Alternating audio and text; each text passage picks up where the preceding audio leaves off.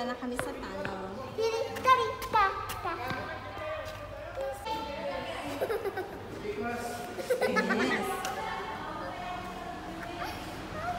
We're going on the, on the other side of the tunnel. Kasi doon nakapark yung aming